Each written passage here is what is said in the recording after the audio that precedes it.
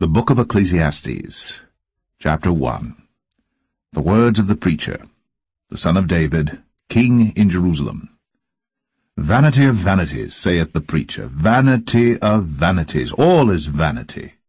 What profit hath a man of all his labour which he taketh under the sun? One generation passeth away, and another generation cometh, but the earth abideth for ever. The sun also ariseth, and the sun goeth down, and hasteth to his place where he arose.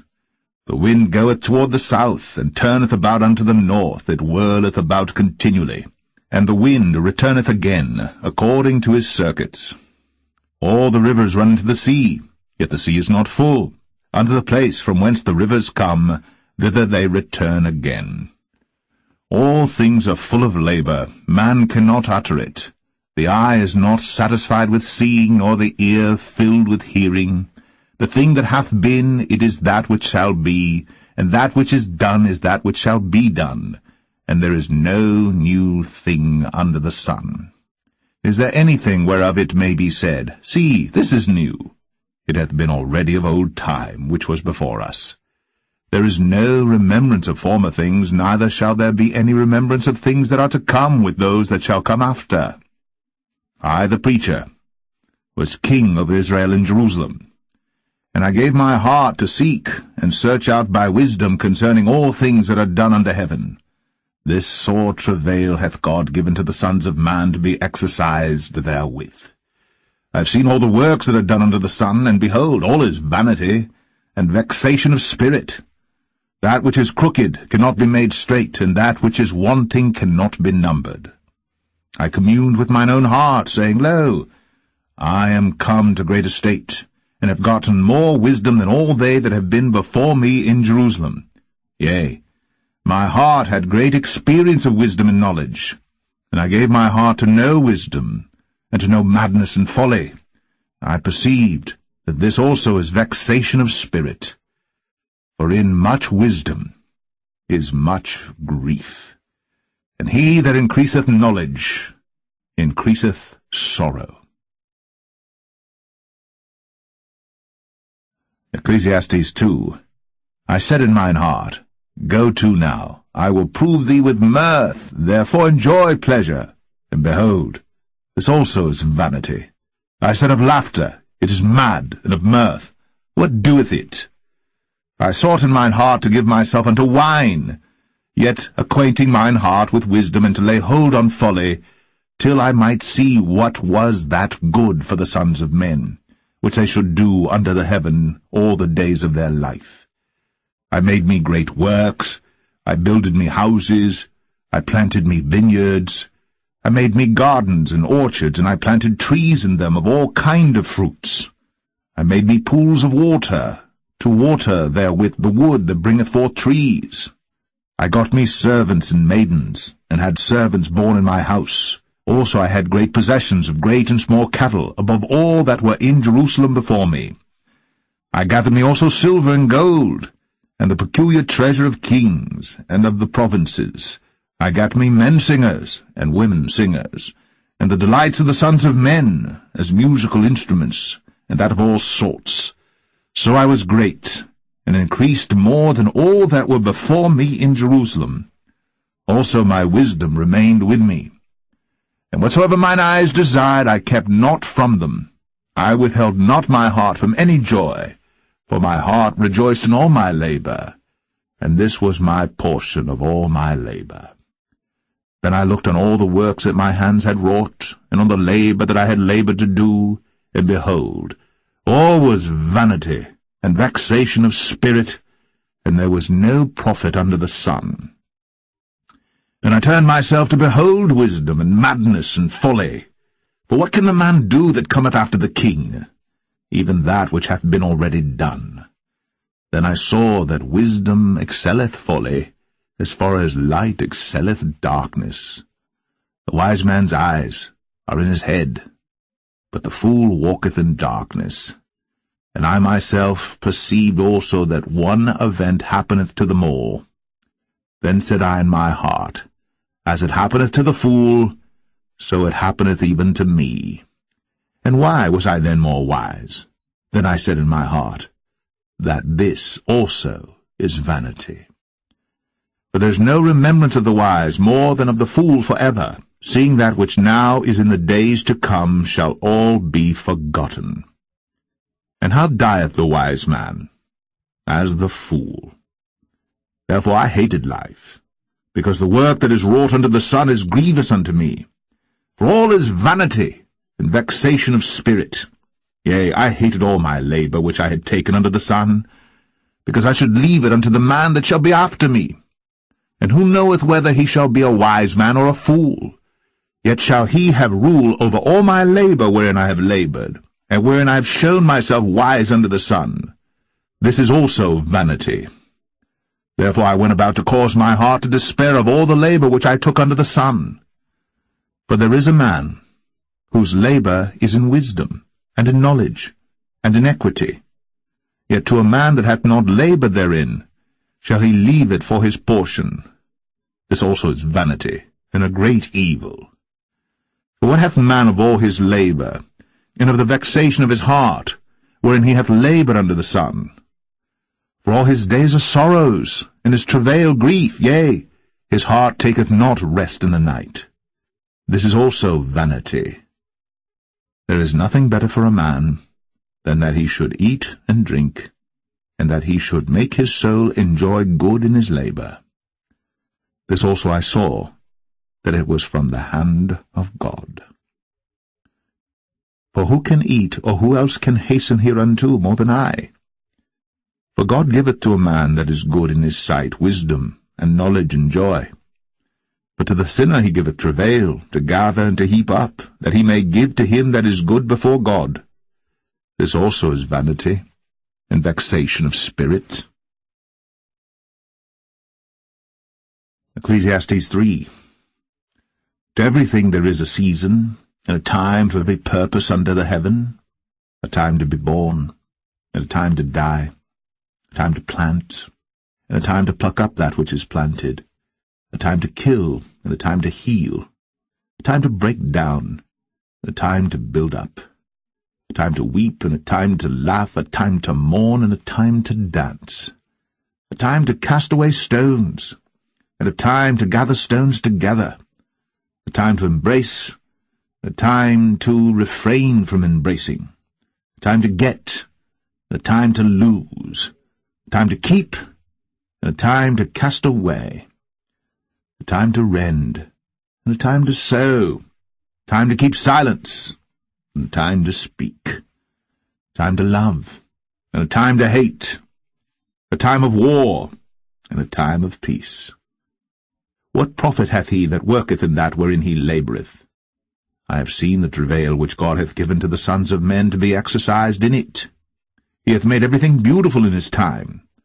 Also he hath set the world in their heart, so that no man can find out the work that God maketh from the beginning to the end. I know that there is no good in them, but for a man to rejoice and to do good in his life, and also that every man should eat and drink and enjoy the good of all his labour, it is the gift of God. I know that whatsoever God doeth, it shall be for ever. Nothing can be put to it, nor anything taken from it. And God doeth it, that men should fear before him. That which hath been is now, and that which is to be hath already been. And God requireth that which is past.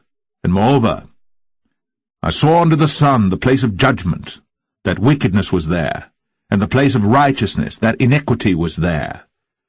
I said in mine heart, God shall judge the righteous and the wicked, but there is a time there for every purpose, and for every work. I said in mine heart concerning the estate of the sons of men, that God might manifest them, and that they might see that they themselves are beasts. For that which befalleth the sons of men befalleth beasts. Even one thing befalleth them, as the one dieth, so dieth the other, yea, they have all one breath, so that a man hath no preeminence above a beast, for all is vanity. All go unto one place, all are of the dust, and all turn to dust again. Who knoweth the spirit of man that goeth upward, and the spirit of the beast that goeth downward to the earth? Wherefore I perceive that there is nothing better than that a man should rejoice in his own works, for that is his portion. For who shall bring him to see what shall be after him? Ecclesiastes 4 So I returned, and considered all the oppressions that are done under the sun, and behold the tears of such as were oppressed, and they had no comforter. And on the side of their oppressors there was power, but they had no comforter. Wherefore I praised the dead which are already dead more than the living which are yet alive. Yea, better is he than both they which have not yet been, who have not seen the evil work that is done under the sun. Again I considered all travail, and every right work, that for this a man is envied of his neighbour. This is also vanity and vexation of spirit. The fool foldeth his hands together, and eateth his own flesh. Better is an handful with quietness, than both the hands full with travail and vexation of spirit. Then I returned, and I saw vanity under the sun. There is one alone, and there is not a second, yea, he hath neither child nor brother, yet is there no end of all his labour. Neither is his eye satisfied with riches, neither saith he, For whom do I labour, and bereave my soul of good? This is also vanity, yea, it is a sore travail. Two are better than one, because they have a good reward for their labour. For if they fall, the one will lift up his fellow, but woe to him that is alone when he falleth, for he hath not another to help him up. Again, if two lie together, then they have heat. But how can one be warm alone? And if one prevail against him, two shall withstand him, and a threefold cord is not quickly broken. Better is a poor and a wise child than an old and foolish king, who will no more be admonished. For out of prison he cometh to reign, whereas also he that is born in his kingdom becometh poor. I considered all the living which walk under the sun, with the second child that shall stand up in his stead. There is no end of all the people, even of all that have been before them. They also that come after shall not rejoice in him. Surely this also is vanity and vexation of spirit. Ecclesiastes 5 Keep thy foot when thou goest to the house of God, and be more ready to hear than to give the sacrifice of fools. For they consider not that they do evil. Be not rash with thy mouth, let not thine heart be hasty to utter anything before God. For God is in heaven, and thou upon earth. Therefore let thy words be few. For a dream cometh through the multitude of business, and a fool's voice is known by multitude of words. When thou vowest a vow unto God, defer not to pay it, for he hath no pleasure in fools. Pay that which thou hast vowed. Better is it that thou shouldst not vow, than that thou shouldst vow and not pay. Suffer not thy mouth to cause thy flesh to sin, neither say thou before the angel that it was an error. Wherefore should God be angry at thy voice, and destroy the work of thine hands? For in the multitude of dreams and many words there are also divers vanities. But fear thou God. If thou seest the oppression of the poor, and violent perverting of judgment and justice in a province, marvel not at the matter. For he that is higher than the highest regardeth, and there be higher than they. Moreover, the profit of the earth is for all, the king himself is served by the field. He that loveth silver shall not be satisfied with silver, nor he that loveth abundance with increase. This is also vanity. When goods increase, they are increased that eat them. And what good is there to the owners thereof, saving the beholding of them with their eyes? The sleep of a labouring man is sweet, whether he eat little or much. But the abundance of the rich will not suffer him to sleep. There is a sore evil which I have seen under the sun, namely, riches, kept for the owners thereof to their hurt. But those riches perish by evil travail. And he begetteth a son, and there is nothing in his hand. As he came forth of his mother's womb, naked shall he return to go as he came, and shall take nothing of his labour, which he may carry away in his hand. And this also is a sore evil, that in all points as he came, so shall he go. And what profit hath he that hath laboured for the wind? All his days also he eateth in darkness, and he hath much sorrow and wrath with his sickness. Behold that which I have seen. It is good and comely for one to eat and to drink, and to enjoy the good of all his labour that he taketh under the sun all the days of his life which God giveth him, for it is his portion. Every man also to whom God hath given riches and wealth, and hath given him power to eat thereof, and to take his portion, and to rejoice in his labour, this is the gift of God. For he shall not much remember the days of his life, because God answereth him in the joy of his heart. Ecclesiastes 6 There is an evil which I have seen under the sun, and it is common among men. A man to whom God hath given riches, wealth, and honour, so that he wanteth nothing for his soul of all that he desireth. Yet God giveth him not power to eat thereof, but a stranger eateth it. This is vanity, and it is an evil disease. If a man beget an hundred children, and live many years, so that the days of his years be many, and his soul be not filled with good, and also that he have no burial. I say that an untimely birth is better than he. For he cometh in with vanity, and departeth in darkness, and his name shall be covered with darkness. Moreover, he hath not seen the sun, nor known any thing. This hath more rest than the other. Yea, though he live a thousand years twice told, yet hath he seen no good. Do not all go to one place. All the labour of man is for his mouth, and yet the appetite is not filled. For what hath the wise more than the fool? What hath the poor, that knoweth to walk before the living? Better is the sight of the eyes than the wandering of the desire. This is also vanity, and vexation of spirit.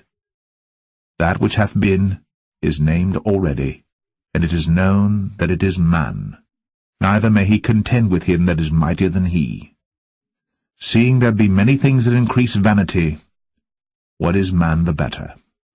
For who knoweth what is good for man in this life? All the days of his vain life which he spendeth as a shadow, for who can tell a man what shall be after him under the sun?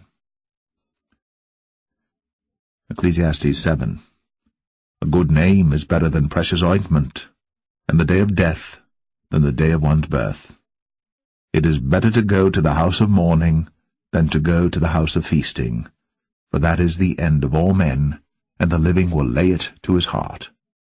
Sorrow is better than laughter, for by the sadness of the countenance the heart is made better. The heart of the wise is in the house of mourning, but the heart of fools is in the house of mirth. It is better to hear the rebuke of the wise than for a man to hear the song of fools. For as the crackling of thorns under a pot, so is the laughter of the fool. This also is vanity.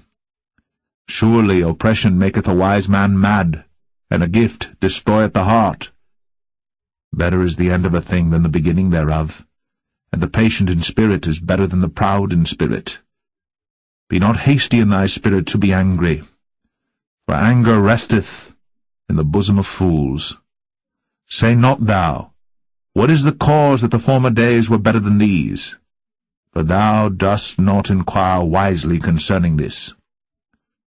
Wisdom is good with an inheritance, and by it there is profit to them that see the sun. For wisdom is a defence, and money is a defence. But the excellency of knowledge is, that wisdom giveth life to them that have it. Consider the work of God. For who can make that straight which he hath made crooked? In the day of prosperity be joyful, but in the day of adversity consider. God also hath set the one over against the other, to the end that man should find nothing after him. All things have I seen in the days of my vanity. There is a just man, that perisheth in his righteousness, And there is a wicked man that prolongeth his life in his wickedness. Be not righteous over much, neither make thyself over wise. Why shouldst thou destroy thyself? Be not overmuch wicked, neither be thou foolish. Why shouldst thou die before thy time? It is good that thou shouldst take hold of this, yea, also from this withdraw not thine hand. For he that feareth God shall come forth of them all. Wisdom strengtheneth the wise more than ten mighty men which are in the city. For there is not a just man upon earth that doeth good, and sinneth not. Also take no heed unto all the words that are spoken, lest thou hear thy servant curse thee. For oftentimes also thine own heart knoweth that thou thyself likewise hast cursed others. All this have I proved by wisdom. I said, I will be wise, but it was far from me. That which is far off, and exceeding deep, who can find it out? I applied mine heart to know, and to search, and to seek out wisdom, and the reason of things, and to know the wickedness of folly, even of foolishness and madness. And I find more bitter than death the woman, whose heart is snares and nets, and her hands as bands. Whoso pleaseth God shall escape from her, but the sinner shall be taken by her. Behold, this have I found, saith the preacher, counting one by one, to find out the account, which yet my soul seeketh, but I find not. One man among a thousand have I found, but a woman among all those have I not found. Lo, this only have I found, that God hath made man upright, but they have sought out many inventions. Ecclesiastes 8 Who is as the wise man? And who knoweth the interpretation of a thing? A man's wisdom maketh his face to shine, and the boldness of his face shall be changed. I counsel thee to keep the king's commandment, and that in regard of the oath of God. Be not hasty to go out of his sight. Stand not in an evil thing, for he doeth whatsoever pleaseth him. Where the word of a king is, there is power. And who may say unto him, What doest thou? Whoso keepeth the commandment shall feel no evil thing, and a wise man's heart discerneth both time and judgment. Because to every purpose there is time and judgment. Therefore the misery of man is great upon him. For he knoweth not that which shall be, who can tell him when it shall be?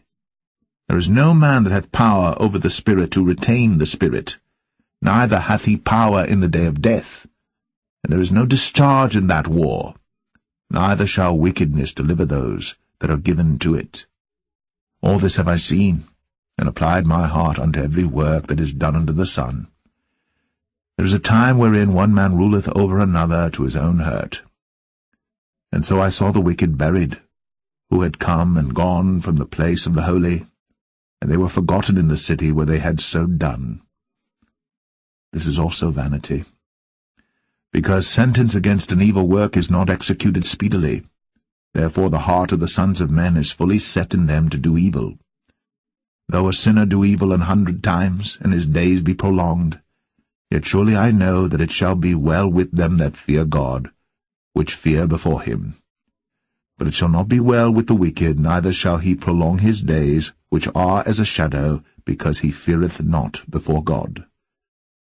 There is a vanity which is done upon the earth, that there be just men unto whom it happeneth according to the work of the wicked. Again, there be wicked men to whom it happeneth according to the work of the righteous. I said that this also is vanity. Then I commended mirth, because a man hath no better thing under the sun than to eat and to drink and to be merry, for that shall abide with him of his labour the days of his life, which God giveth him under the sun. When I applied mine heart to know wisdom, and to see the business that is done upon the earth, for also there is that, neither day nor night seeth sleep with his eyes, then I beheld all the work of God. That a man cannot find out the work that is done under the sun, because though a man labour to seek it out, yet he shall not find it. Yea, further, though a wise man think to know it, yet shall he not be able to find it. Ecclesiastes 9 For all this I considered in my heart even to declare all this, that the righteous and the wise and their works are in the hand of God. No man knoweth either love or hatred by all that is before them. All things come alike to all. There is one event to the righteous and to the wicked, to the good and to the clean and to the unclean, to him that sacrificeth and to him that sacrificeth not. As is the good, so is the sinner, and he that sweareth, as he that feareth an oath. This is an evil among all things that are done under the sun, that there is one event unto all. Yea, also the heart of the sons of men is full of evil, and madness is in their heart while they live. And after that they go to the dead. For to him that is joined to all the living there is hope. For a living dog is better than a dead lion.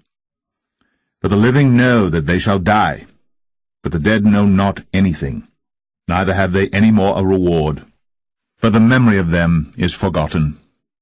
Also their love and their hatred and their envy is now perished. Neither have they any more a portion for ever in anything that is done under the sun. Go thy way, eat thy bread with joy, and drink thy wine with a merry heart. For God now accepteth thy works. Let thy garments be always white, and let thy head lack no ointment. Live joyfully with the wife whom thou lovest all the days of the life of thy vanity, which he hath given thee under the sun, all the days of thy vanity, for that is thy portion in this life, and in thy labour which thou takest under the sun.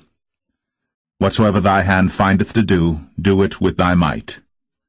For there is no work, nor device, nor knowledge, nor wisdom in the grave whither thou goest. I returned, and saw under the sun that the race is not to the swift, nor the battle to the strong, neither yet bread to the wise, nor yet riches to men of understanding, nor yet favour to men of skill, but time and chance happeneth to them all. For man also knoweth not his time, as the fishes that are taken in an evil net, and as the birds that are caught in the snare. So are the sons of men snared in an evil time, when it falleth suddenly upon them. This wisdom have I seen also under the sun, and it seemed great unto me. There was a little city, and few men within it. And there came a great king against it, and besieged it, and built great bulwarks against it. Now there was found in it a poor wise man, and he by his wisdom delivered the city. Yet no man remembered that same poor man. Then said I, Wisdom is better than strength. Nevertheless the poor man's wisdom is despised, and his words are not heard.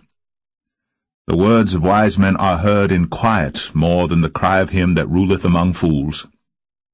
Wisdom is better than weapons of war. But one sinner destroyeth much good. Ecclesiastes 10 Dead flies cause the ointment of the apothecary to send forth a stinking savour. So doth a little folly him that is in reputation for wisdom and honour. A wise man's heart is at his right hand, but a fool's heart at his left. Yea, also, when he that is a fool walketh by the way, his wisdom faileth him, and he saith every one that he is a fool. If the spirit of the ruler rise up against thee, leave not thy place, for yielding pacifieth great offences. There is an evil which I have seen under the sun, as an error which proceedeth from the ruler. Folly is set in great dignity, and the rich sit in low place. I have seen servants upon horses, and princes walking as servants upon the earth. He that diggeth a pit shall fall into it, and whoso breaketh an hedge, a serpent shall bite him. Whoso removeth stone shall be hurt therewith, and he that cleaveth wood shall be endangered thereby. If the iron be blunt, and he do not whet the edge, then must he put to more strength but wisdom is profitable to direct. Surely the serpent will bite without enchantment, and a babbler's no better. The words of a wise man's mouth are gracious, but the lips of a fool will swallow up himself. The beginning of the words of his mouth is foolishness, and the end of his talk is mischievous madness. A fool also is full of words. A man cannot tell what shall be, and what shall be after him, who can tell him? The labour of the foolish wearieth every one of them, because he knoweth not how to go to the city. Woe to thee, O land, when thy king is a child, and thy princes eat in the morning. Blessed art thou, O land, when thy king is the son of nobles, and thy princes eat in due season for strength and not for drunkenness. By much slothfulness the building decayeth, and through idleness of the hands the house droppeth through. A feast is made for laughter, and wine maketh merry, but money answereth all things. Curse not the king, no, not in thy thought, and curse not the rich in thy bedchamber. For a bird of the air shall carry the voice, and that which hath wings shall tell the matter. Ecclesiastes 11 Cast thy bread upon the waters, for thou shalt find it after many days. Give a portion to seven and also to eight, for thou knowest not what evil shall be upon the earth. If the clouds be full of rain, they empty themselves upon the earth. And if the tree fall toward the south or toward the north, in the place where the tree falleth, there it shall be. He that observeth the wind shall not sow, and he that regardeth the clouds shall not reap. As thou knowest not what is the way of the Spirit, nor how the bones do grow in the womb of her that is with child, even so thou knowest not the works of God who maketh all. In the morning sow thy seed, and in the evening withhold not thine hand, for thou knowest not whether shall prosper, either this or that, or whether they both shall be alike good. Truly the light is sweet, and a pleasant thing it is for the eyes to behold the sun. But if a man live many years and rejoice in them all, yet let him remember the days of darkness, for they shall be many. All that cometh is vanity. Rejoice, O young man, in thy youth, and let thy heart cheer thee in the days of thy youth, and walk in the ways of thine heart, and in the sight of thine eyes. But know thou that for all these things God will bring thee into judgment. Therefore remove sorrow from thy heart, and put away evil from thy flesh, for childhood and youth are vanity.